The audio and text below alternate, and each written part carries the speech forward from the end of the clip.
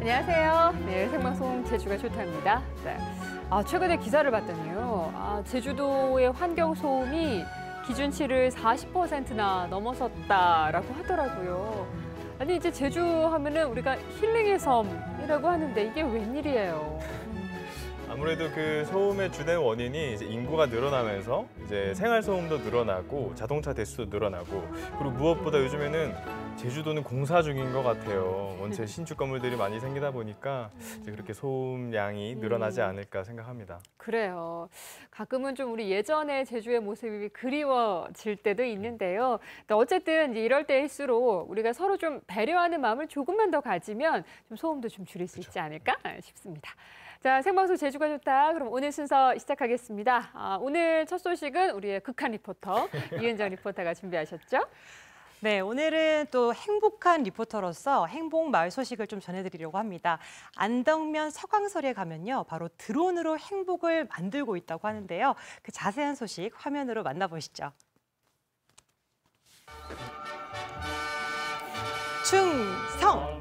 태양의 후예 이은정 대위 행복 찾으러 왔지 말입니다. 뭐죠? 교육생들 얼굴을 보니까요, 잘 찾아온 것 같군요. 전체 차렷 파일럿께 대하여 경례 드론! 드론으로 인사를 하십니까? 네, 드론으로 행복을 만드는 마을 바로 서광서리입니다. 부릉부릉 힘차게 시동 걸고 출발해 볼까요? welcome to 드론 행복 마을. 네, 이쪽으로 보면 너른 대지가 펼쳐져 있고요. 저쪽으로 보면 멋쟁이 건물들이 들어선 이곳입니다. 것 같아요. 반갑습니다. 아, 이거 사광서리에서 이 행복마을 지원 사업이 시작됐다고 해서 제가 찾아왔습니다. 그 제일 중점적으로 두는 거는 저 드론 사업을 추진 중에 있습니다. 뭐 방제 사업이든지 아니면 뭐 항공 촬영을 해가지고 수익 사업을 하든지 삶의 질도 조금 윤택할 수 있지 않는가 해서 추진하게 된 겁니다. 맞아요. 휙휙 불어라 드론 바람아.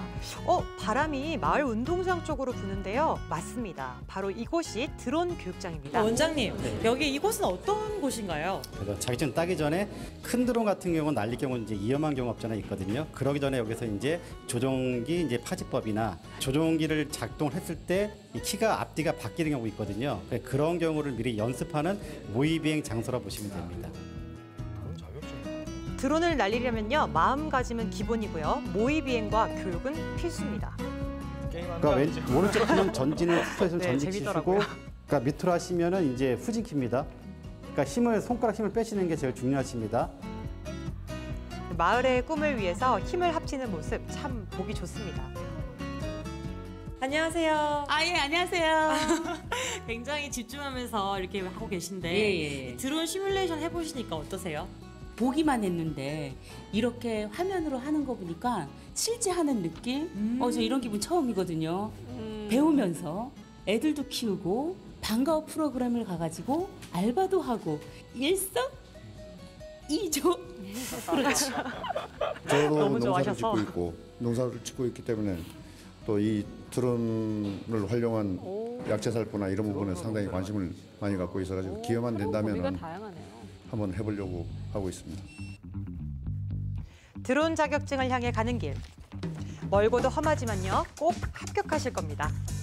전문적인 자격 과정 외에도 좀 어린이들이라든지 편안하게 도민들이 와서 즐길 수 있는 체험거리들이 있나요? 아 예, 저희가 이제 여러 가지 체험 프로그램이 있는데요. 지금은 이제 저희가 직접 이제 제작한 이제 거북선 드론하고 이제 버스 드론이 있습니다. 그래서 여기 학생들이나 그다음 수학년 팀들이나 와가지고 저희가 조립하는 것부터 해가지고 그다음 코딩 교육하는 거, 그다음 비행하는 거, 그러니까 이렇게 해가지고 저희가 이제 체험 진행을 하고 있습니다. 자, 이 수업은 애들이 드론에 대해서 원리를 좀 알고자 하기 위해서 만드는 거고요. 이거를 좀 만들면서 애들이 직업을 선택할 때이 드론 조립을 할 수 있는 여건도 되고 아니면 제조를 한다던가 설계를 한다던가 할때 원리를 주어지면서 만들 수 있게 그 하는 궁극적인 목적이 있습니다. 네, 원장님의 가르침을 스펀지처럼 쑥쑥 흡수해 보는데요. 어느새 제법 어, 모양이 갖춰진 것 같죠? 네, 저도 따라해봤습니다. 직접 하신 거예요? 네네. 조립을 워낙에 직접 그 했어요. 뭐 TV에서나 뭐 이런데 뭐 이제 촬영도 전부 드론으로 하고 이렇게 드론으로 낚시도 막 시도하고 하는 거 봤거든요. 그래서 아마 드론이 이제 굉장히 생활에 깊숙이 이제 저 쓰일 것 같고 다방면에서 그래서 이번이 좋은 기회인 것 같아요. 이렇게 배울 수 있는 게. 저는 이런 게 애들만 이제 뭐 배우게 해야지라고 생각을 하고 저가 직접 이런 거를 해야 되겠다, 할 수 있다 그런 생각은 안 해봤는데 오늘 해보니까 너무 재미도 있고 아, 계속 응, 못해도 계속 하고 싶은 생각이 들더라고요.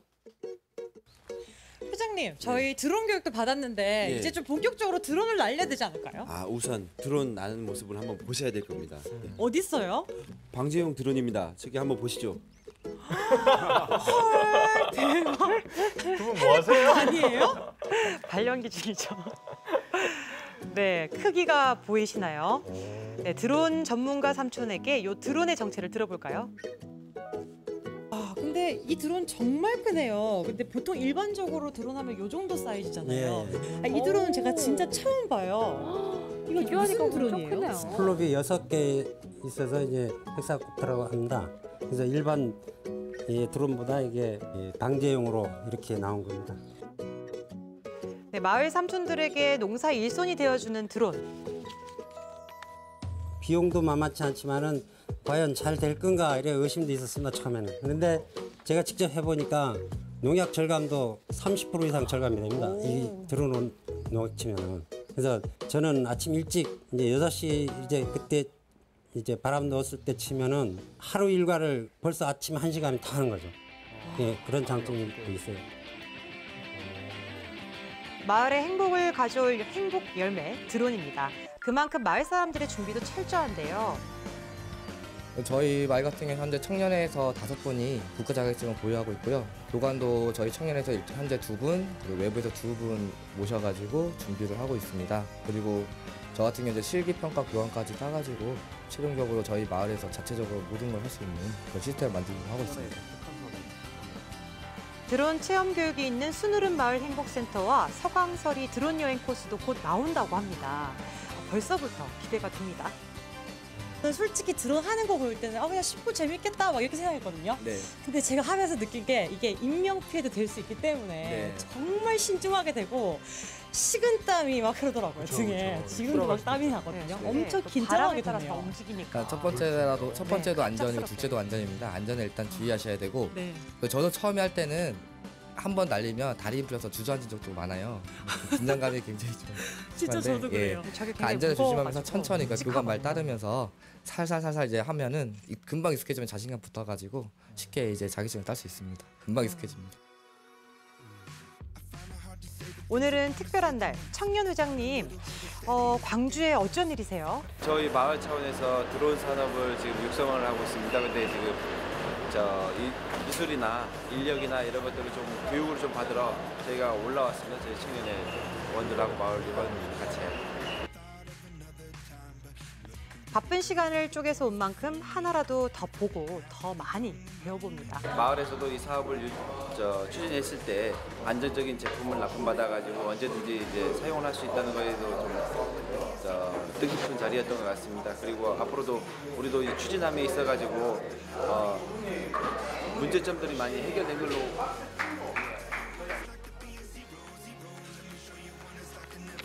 시실과 날실이 엮이듯 마을 공동체의 정이 이 사업이 원래 우리 쌓여가는데요. 마을에서 하는 사업입니다. 근데 우리 청년들이 아주 열성적으로 이렇게 교육도 와서 받고 예, 그 견학 오게 돼가지고 무척 좀 자랑스럽고 또한 우리 농촌이다 보니까 오늘 교육을 받다 보니까 앞으로 더 우리 청년들을 위해 가지고 예, 마을에서 더 신경 써서 열심히 도와주도록 하겠습니다. 서광설이 드론! 오케이.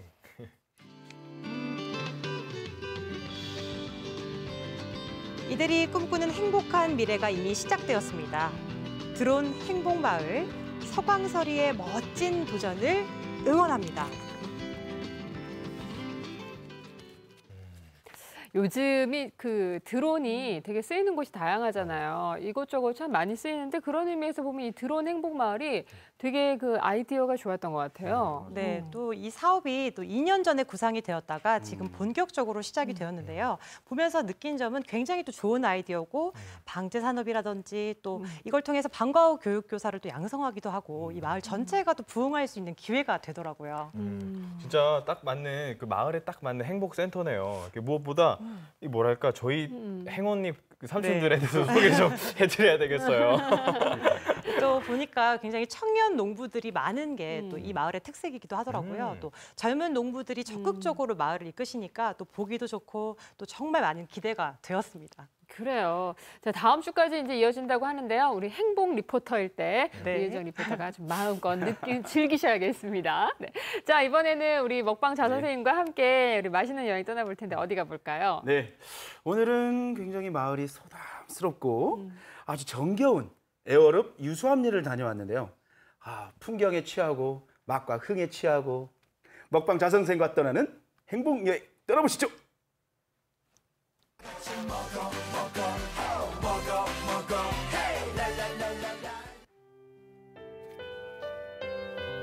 간만에 촉촉한 비가 가슴을 적시는 날 오늘은 뭐 먹방? 좌선생이 아니라 갬성 좌선생으로 분위기 한껏 잡아봅니다 만 어? 배고파 어, 모르노 에이 분위기는 무슨 분위기야 유서한데 밥을 먹어야지 그럼요. 족발을 들고 등장을 하세요 다음 부터는. 부산 CG를 웬 해줬어야? 되는데 족발을 딱 들고. 분위기도 잡고 배고픔도 잡고 싶으시다고요? 그렇다면 몸에 좋은 오메가3가 통째로 연어 한판 어떠세요? 바다가 아닌 중산간에서 맛볼 수 있는 싱싱한 연어의 맛. 살몬 살몬 살몬 살몬. 살몬 살몬 살몬 살몬. 와 여러분. 횟집이 아니에요. 여기는 분명 중산간인데 바다도 안 보이고 연어 한 마리가 앞에 탁 등장했어요. 처음 봤어요. 와, 자, 이 생연어를 이렇게 두툼하게. 유럽에서는 연어 하면 케이퍼가 꼭 따라오는 유럽에서는 이렇게. 연어 하면 요 케이퍼가 꼭 따라온다는 거. 그쵸. 상식. 보통 저희가 뷔페 가면 이렇게 먹죠. 그렇죠. 요 비주얼로 먹죠. 정석이죠. 정석이죠. 연어의 정석. 잘죠? 음, 음. 와. 여러분들 제가 좀 상식을 얘기해 드릴게요. 횟집에 갔는데 이런 레몬 있어 네. 레몬은 어디다 뿌리는 거다? 회에 절대 뿌리는 거 아니다. 아니에요? 이런 채소나 이런 어. 어, 구이나 이런 데 뿌리는 거예요. 이렇게 회에다 뿌리면 산화돼서 아, 이제 새롭게 알았어요. 싱싱한 회를 드셨다면 이번엔 고소함의 절정 연어구이를. 즐길 차례. 아 또 머리가 또 우와 그렇죠. 회는 손으로 먹어야 돼요. 이 머리에 네? 이렇게 살이 엄청 많아요. 강어대가리 구이를 이렇게 딱 연장 탑니다. 잡아 뜯어 먹어. 머리 와. 뜯어 먹어요? 역시 야. 먹방 상징인 어, 어. 너 구이 좀. 드실 줄 아네요. 응? 연어구이는 이렇게 뜯어 먹어야 제맛이죠. 와, 굉장히 부드러워. 아, 군침이 돈다. 진짜 오늘 먹방이네요. 엄마. 뼈가 그냥 똑똑 빠지네요. 와. 여러분,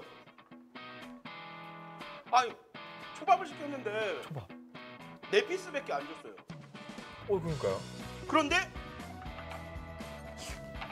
wow 주먹 둘, 오, 딱이 사이즈네. 어머, 아, 사이즈가 우와. 커요. 이야. 이거 보이세요? 이게 초밥 진짜 한 입에 안 들어갈 것 같은데요? 어, 무게감이 느껴져요. 많고. 무게감이. 이 연어 이 한 피스 자체가 엄청 두껍고 커요. 자, 한번 먹어볼게요. 입을 쭉 벌려야만 들어갈 수 있는 두툼한 연어 초밥. 담백한 연어의 맛이 첫 입맛을 강타하면 마지막 강타하는 건 코끝이 찡한 아, 오죠. 코에 오죠. 한 코에 방. 오죠. 이 풍성한 두툼한 이 연어의 부드러움이 아, 감싸면서 와서 와. 이 밥도 굉장히 좋네요. 와, 아, 초밥이 이렇게 밥이 이렇게 많으면 되는 거야? 이랬는데 이렇게 많아도 괜찮은 거구나. 아, 초밥이 굉장히 맛있네. 안에 초밥 밥을 굉장히 잘하신 것 같아. 다 올리고 음, 이게 뭐예요? 올려서 땀을 따먹. 나는야 먹방계의 만수르. 연어 한 판을 즐기는 마지막 방법은 연어 덮밥. 이 정도는 먹어야 연어 한 판 먹었다 할 수 있겠죠. 이야. 먹고 싶어요. 어우, 저기 꼭 한번 가봐야 되겠어요. 일본으로 왔습니다. 짬뽕 먹으러. 짬뽕 먹으러 일본에 갈 필요 없어요. 불맛 살린 나가사키 짬뽕 한 그릇이면 일본으로 뿅. 싱싱한 해산물과 채소가 듬뿍. 이 그릇도 딱 보니까 뭐 짬뽕이라고 이- 일본 라멘 라멘이죠. 여기 가리비도 있고 호, 게도 있고 오, 새우 다 있네요. 다 있네요. 다 있네. 여기 보세요. 그. 양배추도 이렇게 다 구워져서 불맛이 좋고 국물이 진하고 아우, 아주 신선한 재료를 쓴다는 그런 소문을 듣고 왔습니다. 쭉 숙주와 함께 먹는 일본 라멘 하, 나가사키 짬뽕 짬뽕은 후후 불어 먹어야 제맛. 아삭한 숙주와 탱글탱글한 면발이 블랙홀처럼 후루룩 빨려 들어간다. 쭉쭉쭉. 음, 너무 좋아 숙주. 이 면과 함께 아삭아삭 씹히는 이 숙주의 맛, 이 부드러운 맛. 아, 일본 가정식의 대표 메뉴는 역시 돈가스 덮밥 가츠동. 가츠동. 야, 오늘 음식들이 윤기가 다들. 가츠동. 와, 돈가스 도톰합니다. 와, 기름 모락모락 나고. 이 덮밥은 이렇게 양파를 카라멜라이징 이렇게 갈색빛이 나게 단맛이 굉장히 많이 나게 잘 볶아. 그런 비주얼. 저거 안. 먹어도 맛을 알 것 같아요. 부드러우면서도 달콤하고 촉촉한 맛. 약간 이 짭조름해야 맛이 바로. 소확행 아니겠습니까? 그 일본 특유의 그 달콤한 맛 있잖아요. 맞아요. 단짠, 그 단짠. 일본 단짠. 특유의 달콤한 맛. 그 맛이 싹 돌면서 음, 역시 돈가스는 약간 이렇게 짭짤해야 돼. 크, 최고의 먹방 투어.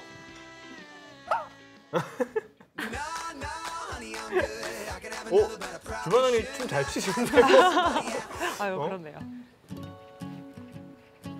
아 이곳은 굴비? 제가 개인적으로 보리굴비. 정말 와보고 싶었던 곳이에요. 보리굴비가 뭐예요? 제주에 짜잔 하고 나타난 밥도둑의 절대 강자 보리굴비. 보리굴비를 잘게 찢어 밥에 얹어 먹으면 그야말로 입에 척척 붙는 맛. 저도 모르게 엄지척. 그래요? 허허. 야. 야, 게장 바르듯이. wow. 아, 저렇게 찢어서 직접 올려주는 서비스가 평범. 굉장히 꼬신내가 나요. 다들 저렇게 꼬신내. 서비스. 맛있어. 고소한 것도 아니고 꼬셔. 와. 음. 맛있겠다.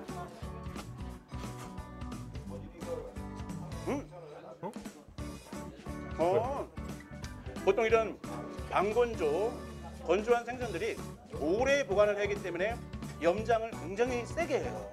그래서 굉장히 짤 수 있는데 전혀 안 짜. 그래요? 이 집만의 굴비가 안 짜요? 독특한 보리굴비를 맛있게 즐기는 또 한 가지 방법. 말차 누룽지에 후루룩 얹어 먹기. 와. 돌솥밥 우와, 누룽지의 특이하다. 신세계가 눈앞에 펼쳐진다. 굴비가 들어간 누룽지. 정말 이 돌솥밥계의 돌솥밥 누룽지계의 신세계를 오늘 또 보는. 마, 마지막 마무리가 다 돌솥이잖아요. 음. 밥이. 들어간다. 쑥쑥쑥쑥 짭조름한 보리굴비와 말차 누룽지의 환상궁합. 맛있는 건 정말 참을 수 없어. 이것도 꼭또 구수한 또 이렇게 응? 누룽지에서 또 먹으니까 또 별미네요. 유수함에 오시면 보리굴비 드시면서 보양을 할 수 있습니다. 여러분 유수함으로 오세요. 개월 맛집의 성지 접수했습니다. 맛집 오늘도 잘 먹었습니다. 맛집 보증 스포가 되는 그날까지 아 선생의 먹방길 우리 함께 걸어요. 야, 뭐 이제 밥도둑의 절대 강자 중에 한 명, 한 명, 그러니까 한 마리잖아요. 어, 한 마리. 보리, 보리 굴비. 아니 근데 진짜 오늘 보리굴비 먹었죠? 그리고 아까 우리 방금 연어. 좀 어, 연어 또한 판. 먹고. 연어가 우리가 보통 이제 조그마한 연어 초밥들 생각했을 텐데 연어 초밥도 이만한 데다가 아, 연어 맞아요. 한 판. 맞아요. 그리고 아까 가츠송이랑 나가사키 네. 짬뽕까지. 오늘도 뭐 아, 너무 잘 먹었어요. 우리 윤선 리포터 너무 부러워할 것 같아. 진짜 뭐 맨날 가고 싶다 그랬는데. 늘상 뭐 부럽지만요. 오늘은 더 부럽습니다. 맛집이 이렇게 표현이 되는 것 같아요. 찬란하다. 맛집이 너무 찬란하다. 그래서 진짜 당장 마치고 좀 가고 싶어요 지금. 굉장히 또 배가 고픈 상태라서. 피디님 보고 계시죠? 정말 그 보리굴비 그 한국인의 밥상부터 음. 정말 일본식 가정식 하, 그리고 연어 한 판. 아 정말 유수함에 갔더니 전 세계 일주를 한 것 같아요. 알라스카 갔다가 노르웨이 갔다가 일본 갔다가 법성포 가가지고 먹고 유수함으로 다시 도착. 정말 스트레스를 한 번에 날려주는 음식들이었습니다. 유수함 음 식 추천합니다. 진짜 우리 우리 먹방 좌선생님 음. 피셜은 언제든지 믿고 봐도 되는 것 같아요. 진짜 믿으세요? 맛집 인정. 네. 그래요. 다음 주에도 기대하겠습니다. 네. 자, 이번엔 맛있는 여행 떠났으니까 우리 밖으로 한번 나가볼까요? LTE 현장 순서입니다. 어, 내일부터 이제 제주의 해수욕장들이 이제 개장하는 곳이 있는데요. 그래서 오늘은 우리 LTE 현장에서도 해수욕장으로 갑니다. 장인정 아나운서. 네, 안녕하세요. 장인정입니다. 야, 벌써 바다 보니까 너무 좋네요. 자, 오늘 소식 궁금합니다. 전해주세요. 네, 제가 지금 나와 있는 이곳은 곽지 해수욕장인데요. 이곳의 날씨는 바람도 선선하게 불어오고 그야말로 물놀이를 즐기기에 딱인 날씨입니다. 저도 바다로 풍덩 빠지고 싶었는데요. 이곳이 내일부터 개장을 앞두고 있어서 오늘은 개회식이 열렸어요. 많은 분들이 찾아오셔서 개회식을 축하해 주셨습니다. 우리 아름다운 곽지 해수욕장에 대한 매력, 어, 곽지리 이장님을 모시고 자세한 매력에 대해서 소개를 해, 소개를 받아보도록 하겠습니다. 이장님 안녕하세요. 네, 안녕하세요. 네, 반갑습니다. 일단 네 내일이 벌써 개장이에요. 네, 맞습니다. 아 축하드립니다. 고맙습니다. 근데 제가 아까 저기서 이렇게 슬쩍 보니까 네. 이 개장식이 정말 화려하게 열리더라고요. 네. 맛있는 음식도 준비돼 네, 예, 있고 이게 매년 열렸던 건가요? 그렇지 않고요. 지금 원래 3회째 저희들이 이제 해수욕장 개장식 겸 해가지고 리민 행사, 리민의 날 행사를 해가지고 우리 리민들의 우리 식사를 대접하고 또 이제 저녁에 노래자랑도 할 수 있는 그걸 이제 3년째 지금 하고 있습니다. 어, 너무 재밌는 것 같아요. 저도 남아서 쭉 지켜보도록 하겠습니다. 아, 고맙습니다. 네. 그런데 곽지해수욕장은 요즘 정말 많은 관광객분들, 도민분들이 발걸음을 해주시잖아요. 그렇죠. 네. 네. 어떤 매력이 있길래 이렇게 많은 분들의 곽지- 발걸음을 사로잡는지. 네, 곽지해수욕장 매력은 굉장히 많은데 제가 몇 가지만 몇 가지만 해드릴게요. 네. 왜냐하면 일단은 이제 남자 여자의 노천탕이 있어서 어, 물놀이 하다가 샤워장 할 수 있는 노천탕이 있고요. 그 다음에 우리 이제 모래사장이 있어가지고 이제 올해도 이제 조랑말 달리기 대회를 여기 또 합니다. 그리고 그 다음에 제일 중요한 거는 물수온. 수온이 낮아서 굉장히 이제 어린애들이 물놀이 하기 좋아서 해파리가 안 들어온다는 것. 이런 자랑거리가 많이 있습니다. 네. 그리고 기타 등등 많은데 다음에 또 이제 와서 그러니까요. 어, 구경 오시면 더 알 수 있을 것 같아요. 네, 저도 오늘 처음 왔는데 벌써 그 매력에 다 빠져버린 네. 것 같아서 나중에 꼭 다시 오도록 하겠습니다. 네, 오늘. 말씀 감사드립니다. 감사합니다. 네, 이렇게 무수히 많은 매력이 있는 곽지 해수욕장인데요. 그런데 이런 해수욕장의 계절이 다가오면서 많은 분들이 이제 분주해지는 분들도 계십니다. 바로 우리의 안전을 책임져 주시는 해양 구조팀 분들이신데요. 소방 안전본부의 어, 구조 팀장님께서 안전 수칙을 알려주시려고 이 자리에 나와 계십니다. 팀장님 안녕하십니까? 네, 안녕하십니까? 네, 이제 본격적인 물놀이 시즌이 찾아왔죠. 예. 그런데 제가 듣기로는 이번에는 시민구조대 팀이 꾸려졌다고 들었거든요. 네, 예. 어떤 일을 하는 건지 좀 궁금합니다. 예, 저희 서방에서는 7월 1일부터 8월 31일까지 도내 11개 해수욕장에 1구 시민수상구조대가 운영될 예정입니다. 내일부터 조기 개장되는 곽지 해수욕장 등 다섯 곳에 대해서는 우선적으로 안전요원을 배치 운영할 계획입니다. 어, 그러면은 그 시민 구조대에는 어떤 분들이 포함되어 있는지 좀 궁금한데요. 예, 1구 시민 수상 구조대는 전문 구조대원인 안전팀장, 1구 구급대, 수변 안전요원으로 구성되어 해수욕장 안전관리 임무를 수행하게 됩니다. 아, 네, 정말 든든합니다. 그런데 그럼에도 불구하고 이 해마다 끊이지 않는 물놀이 안전사고 이를 예방하기 위해서 꼭 알아주셨으면 한다 이런 안전수칙 있을까요? 예, 예. 물에 들어가기 전에는 준비 운동을 충분히 하시고 음주 후에는 물, 음주 음- 음주 후 물놀이는 절대 하시면 안 됩니다. 만약 해파리에 쏘였을 시에는 즉시 물 밖으로 나오셔서 119로 도움을 요청하시면 저희가 신속히 출동해서 도움을 드리겠습니다. 네, 자세한 설명 감사드립니다. 네, 고맙습니다. 네, 이런 안전 수칙들 꼭 지켜서 안전한 물놀이 해주시길 바랍니다. 네, 내일부터 이곳이 개장을 하고요. 나머지 해수욕장들은 7월 1일에 개장을 한다고 하는데요. 아, 그런데 무엇보다 7월 15일부터는 몇몇 해수욕장들이 밤에 개장을 한다고 해요. 아주 뜨거운 낮을 피해서 여름 밤바다의 매력에도 풍덩 빠져보시길 바라겠습니다. 지금까지 아름다운 곽지 해수욕장에서 장인정이었습니다. 네, 아, 이렇게 벌써 해수욕장이 개장을 하는 시기가 되었군요. 네. 자, 이렇게 어, 여름이 다가오고 있는 걸 알려주는 게 또 있습니다. 바로 장마죠. 예. 이제 곧 이제 장마철이 시작이 되는데 본격적인 장마철을 앞두고 생활 속에서 좀 장마를 잘 날 수 있는 방법들을 저희가 준비해봤습니다. 화면으로 보시죠. 주부는 장마철이 너무 너무 싫습니다. 높은 온도와 습도로 집안은 곰팡이와 진먼지 진드기가 좋아하는 최적의 상태. 우리 가족 건강도 지키고 안전한 여름을 나기 위한 장마철 생활 백서 함께 알아볼까요?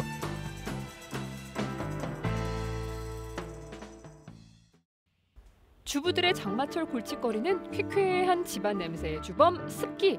오늘의 습기 해결사 살림의 여왕 김은영 씨를 소개합니다. 눅눅한 빨래뿐 아니라 집안 곳곳 숨어 있는 습기와의 전쟁을 선포했는데요. 갑자기 주방에서 커피 찌꺼기를 볶기 시작하는 김은영 씨. 뭘 하려는 걸까요? 커피 찌꺼기에는 어, 제습을 하는 효과도 있고요. 방향을 나타내는 효과도 있어요. 햇빛에 바짝 말린 커피 찌꺼기와 향초, 굵은 소금은 경제적이면서도 효율적인 최고의 제습제입니다. 커피 찌꺼기를 화장실에 놓아두면 습기와 악취를 빨아들이고 향초는 타면서 습기를 잡아줄 뿐 아니라 좋은 향기로 불쾌한 냄새도 없애주는데요. 습기가 많지만 제습기를 사용할 수 없는 공간인 주방, 신발장, 옷장 내지는 이불장 같은 경우에는요. 강력하게 습기를 빨아들이는 이것을 이용하시면 됩니다.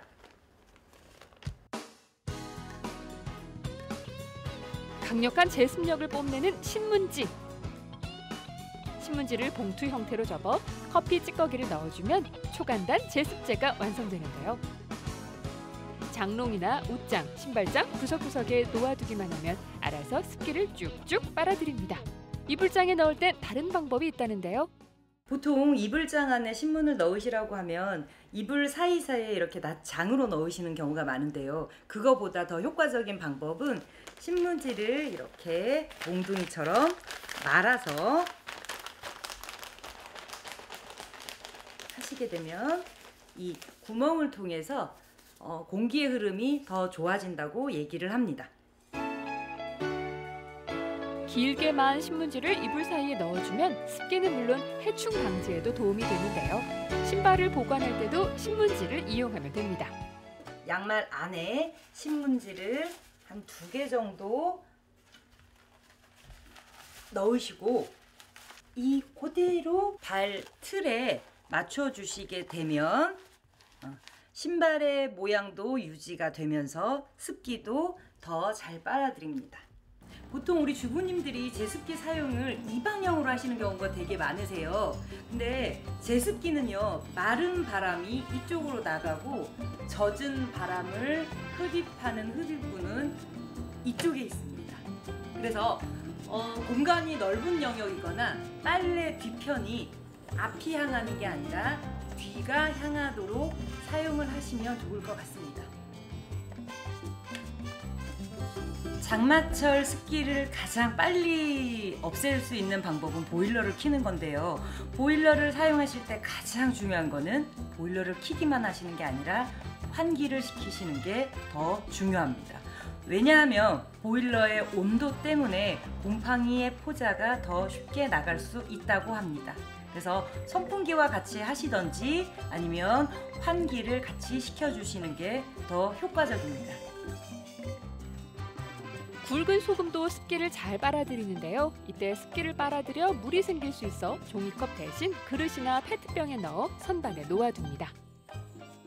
어, 습기를 먹고 머금으면 소금이 여기에 이렇게 물을 맺히게 하는데 이거는 나중에 버리시는 게 아니라 다시 프라이팬에 배- 다시 볶아서 쓰시게 되면 재, 어, 다시 재활용이 가능합니다.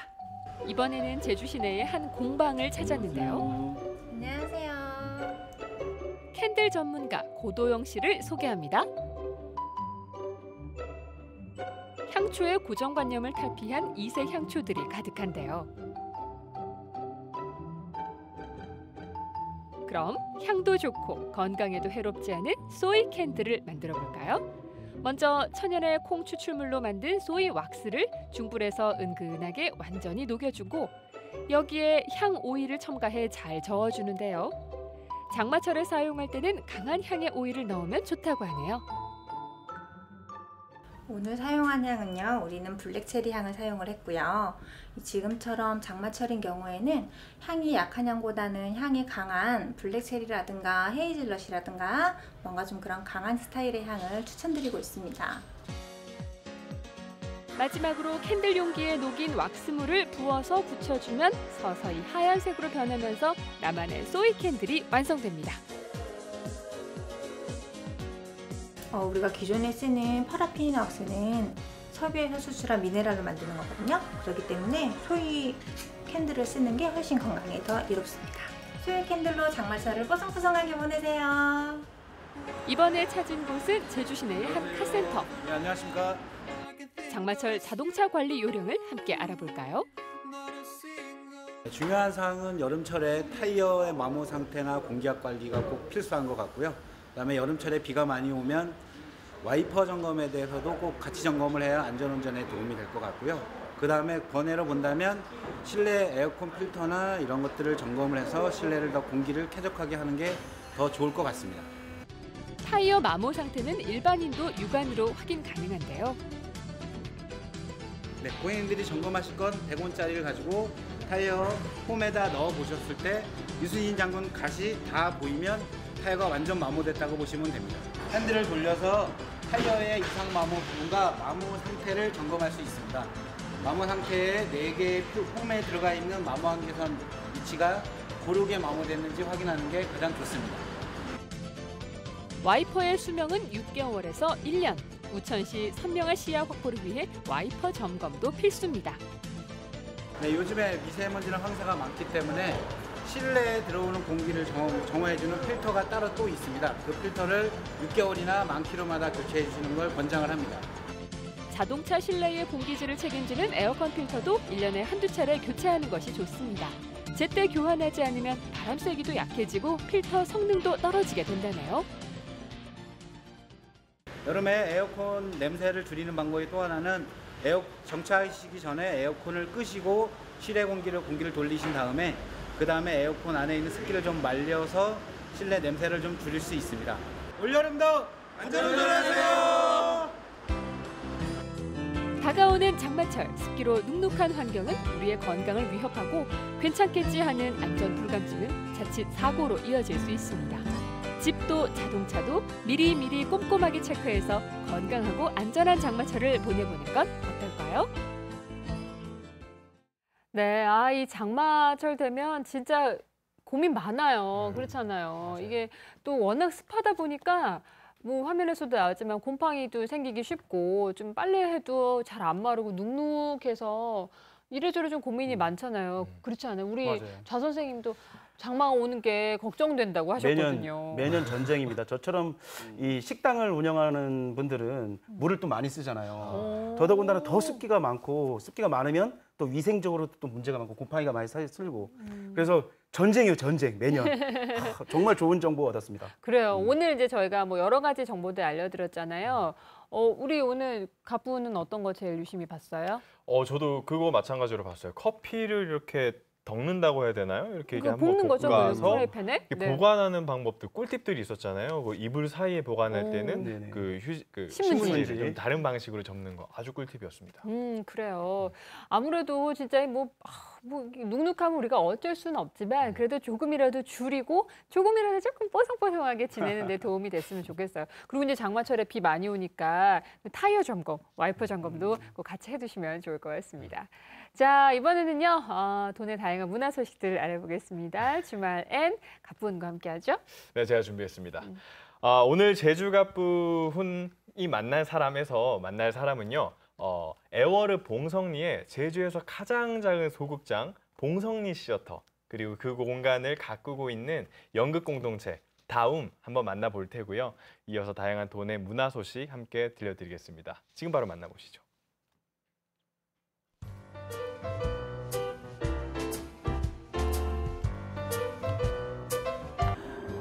어느 철학가가 말을 했죠. 선하다 반대말은 악함이 아닌 선하지 않다라고요. 제가 생각하는 작다의 반대말은 크다가 아닌 작지 않다입니다. 오늘 제주 가 뿐이 만난 사람들에서는요. 제주에서 가장 작은 극장에서 결코 작지 않은 큰 꿈을 키워가는 연극 공동체 다음을 만나보겠습니다. 제주에서 새로운 꿈을 그릴 극단이 탄생했습니다. 해피엔딩을 꿈꾸는 그녀들 연극 공동체 다음입니다. 반갑습니다. 반갑습니다. 네, 연극 공동체 다음 어, 지금은 몽성리에 와 계십니다. 네. 왜죠? 뭐 시내에 있었을 때 조건이 너무나 좋죠. 너무나 좋겠죠. 근데 그거가 꼭 아니어도 연극은 할 수 있고 여기에 공간이 있는데 어떻게 너희가 연극적으로 여기를 활기를 좀 불어넣고 좋은 공간으로 만들면서 다음이라는 팀도 어, 공간이 성장하는 만큼 같이 성장할 수 있었으면 좋겠다라는 뜻을 밝혀서 한번 와봤는데 어, 이 주변이 생각보다 되게 공간이 좋더라고요. 어, 마음에 들었어요. 버스킹 공연으로 제주 신고식을 강렬히 치룬 그녀들.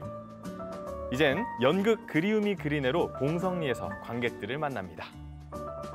할머니 세 명이 이제 한글 공부를 하신 거예요. 한글. 네, 한글을 이제 처음 배우고 자기 이야기를 시로 적은 거죠. 그래서 이제 시를 가지고 얘기를 하는 그런 이야기고 음, 근데 소소한 재미가 있는 작품이에요. 그러니까 글을 쓰면서 옛 이야기들이 그리움처럼 나오는 내용이 네. 그리고 마지막 하나만 더. 그거 한번 해줘요.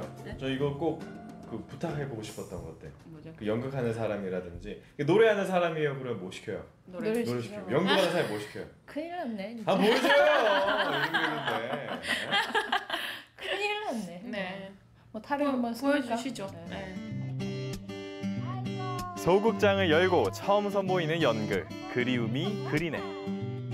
하지만 그 글 올릴 때까지 걱정 어린 시선도 함께 따라다녔습니다. 봉성리 말고 제주에 처음 내려왔을 때 그리고 월정에서 버스킹이라고 하는 걸 막 이제 할 때 육지에 있는 사람들도 그리고 제주에 있는 사람들도 니네 그거 안 될 거다라고 얘기도 하면서 참 용기 있다. 어 그렇게 말해 주셨어요. 근데 저희는 용기 내지 않았거든요. 그리고 막 그렇게 막 발버둥 치지 않아도 음 그냥 사라지더라. 그리고 그게 내가 원하는 방식대로 다행히 재밌게 잘 흘러가기도 하더라. 물론 늘 잘 되는 거는 아니지만 큰 문제 아니고 음, 잘 할 수 있다. 그래서 좀 연극적인 어떤 관점에서 뭐 이런 거를 떠나서 젊은이들이 용기가 필요한 시대잖아요. 근데 별로 용기 안 내도 된다. 어, 음, 그냥 해도 된다. 어, 그런 어, 메시지. 네. 근데 하면서 눈물이 계속 그치네요. 그러게요. 연극 공동체 다음의 행복한 여정 제주가 좋다고 응원합니다. 개개인의 일상을 쭉 연결하면 맞닿아 있는 접점을 발견할 수 있습니다. 전시 엉키고 가려진에서 만나보시죠. 어, 이가경 작가는 어, 평소에 어, 드로잉이나 판화 아, 이런 작품들을 통해서 또 동영상 작업까지 확장해 나가는 작가이고 우리가 흔히 주변에서 볼 수 있는 일상의 모습을 작업으로 어, 창작해 왔는데요. 어, 지금껏 어, 작가가 생각했던 것과는 달리 어, 현실 속에 있는 그런 일상의 모습들은 어떤 정치적인 상황, 아, 이런 사회적 이슈와 아, 분리되지 않았다는 것을 이번 작품을 통해서 어, 드러내고 있습니다. 반복되는 일상을 그리고 지우며 시간과 공간을 한 화면에 담았습니다. 어, 우리 일상을 통해서 어떤 그 사회와의 연결되는 지점들을 이 작품을 통해서 어, 찾아낼 수 있으면 좋겠고요. 또한 이렇게 다양한 매체들이 있다는 것, 그리고 이런 매체들이 어떻게 작업으로 창작되었는지 이런 것들을 재미있게 아, 관람해 주시면 좋겠어요. 반복되는 일상의 궤적을 채워나가는 전시. 이번 주말까지 이어집니다. 사진으로 제주를 이야기하는 최재영, 김미희 작가. 이주 작가들이 담아낸 제주는 어떤 모습일까요? 제주에 와서는 제주 사진을 찍어야 될 것 같아서 어떤 게 제주다움이 가장 어, 사진 효과가 있을까 고심을 하다가 마침 집 가까이에 있는 돌문화공원에서 오백장군을 제가 받게 됐어요. 예, 가까이에서 오백장군을 보니까 굉장히 제가 깊게 빠져들어가더라고요. 하루하루가 어, 하루 이틀 사흘 지나가면서 계속 봄과 동시에 제가 돌과 이야기를 하게 되고 이야기하면서 사진이 깊어지더라고요. 그래서 이번에 이런 전시를 한번 마련해봤습니다. 그 작품 옆에는 묘한 아름다움을 뽐내는 빗방울이 그 함께 아침 햇살이 자리합니다. 강한 날 물방울이 이렇게 빗방울로 이렇게 바뀌는 그 아주 신기로움을 경험했어요. 물방울을 찍다가 이제 거기에서 이제 새로운 빗방울을 찾게 되었습니다. Everyone, Bonnie made a friend in class. Oh, she's already making friends. No, no, she literally 우리 둘의 친구. 토이 스토리가 I 돌아왔습니다. 인형 친구들에게 찾아온 새로운. 친구 포키. 하지만? 포키는 인형의 운명을 거부하고 떠납니 포키를 찾으러 갔던 우디도 새로운. 세계에 눈을 뜨게 되는데요. 과연 우디와 포키는 친구들에게 돌아갈 수 있을까요? 영화 토이스토리 네 번째 이야기입니다. 네, 아, 오늘 이제 가뿐히 만난 사람들에서 연극 공동체 다움, 다움, 네. 음, 다움을 만나봤는데 아까 그 마지막 그 인터뷰의 내용이 되게 인상적이었어요. 음. 청년들에게 용기를 내지 않아도 된다, 그냥 음. 해도 된다라는 그 메시지를 던지는 게 되게 좀 멋있었던 음. 것 같아요. 그리고 눈물을 흘리셨어요. 오. 그러니까요. 참 이제 청년들이 좀 공감을 하지 않을까 싶었어요. 음, 또 저도 많이 보면서 음. 느꼈던 게 아, 진짜 성공이라는 게 뭘까, 음. 행복이라는 게 뭘까, 좀 많은 생각들을 하면서 음. 제주살이에서 정말 답을 얻었던 거는 남에게 잘 보이기 위한 그런 삶이 아니라 내가 진짜 행복한 거, 음. 자기 소신을 또 마음껏 펼치면서 사는 게 정말 또 중요한 부분이라는 걸 다시 한번 다음 공동체, 네, 그 젊은 공동체 분들 통해서 다시 한번 느끼게 되었습니다. 맞아요. 봉성리 시어터 첫 번째 작품입니다. 그리움이 그리네. 어, 오늘과 내일이에요. 오늘과 내일 7시에 지금 이제 시간이 이제 7시 됐습니다. 이제 애월에 계신 분들은 지금 바로 달려가셔서 마지막 공연 어, 이번 오, 이번 달의 마지막 공연 그림이 그리네 꼭 관람하시길 바랍니다. 네. 그리고 이제 오늘 전시 소식들도 좀 전해드렸는데요. 예, 주말 계획 어, 챙기시는 데도 도움이 됐으면 좋겠습니다. 자, 가품은 수고하셨습니다. 네. 자, 계속해서 주말 날씨 알아볼까요?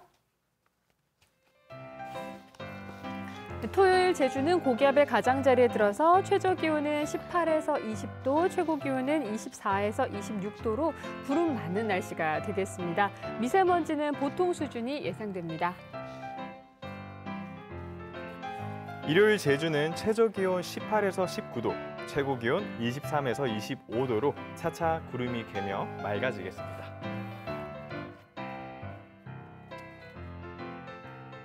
여름철 되면서 이제 공원 가시는 분들 많으시잖아요. 이제 또 밤 기온 요즘 좀 선선하고 날씨가 좋아서 찾으시는 분들 많으실 텐데 그러면서 이제 취사 행위하는 음. 분들이 좀 있으신가 봐요. 그래서 이것에 따른 또 민원도 함께 좀 증가하고 있다고 하는데 어, 7월부터 9월까지 도시공원에서 이 취사하는 행위에 대해서 불법 행위 특별 단속 실시한다고 합니다. 물론 공원 가서 맛있는 거 먹고 싶긴 한데 그쵸. 고기 구워 먹고 싶긴 한데 조금만 참아주시면 좋을 것 같습니다. 네, 맞습니다. 그리고 다음 주부터 음주 단속, 음. 집중 단속 시작한다고 합니다. 제가 술을 많이 먹고도 절대 음주 단속에 걸리지 않는 꿀팁 알려드리겠습니다. 오. 잘 들으십시오. 네네.